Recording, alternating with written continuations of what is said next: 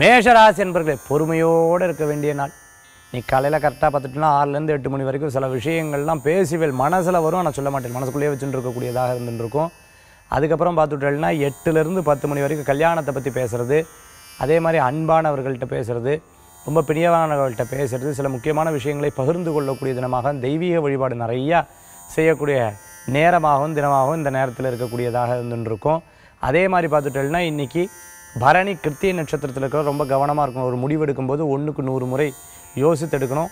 உடனே சொல்லணும் உடனே சொல்லணும்னா ஒரு நாள் கழிச்சு சொல்லிக்கிறேனே அப்படின்னு யோசித்து சொல்லிங்க அவள் அப்போதைக்கு திட்டினாலும் தப்பு கிடையாது. கொஞ்ச நேரத்தில் அவங்களே புரிந்து கொள்வார்கள். இன்றைய தினத்துக்குண்டான அதிர்ஷ்டமான எண் ஆறு. நிறம் வெண்மை வழிபாட்டுக்குண்டான தெய்வம்.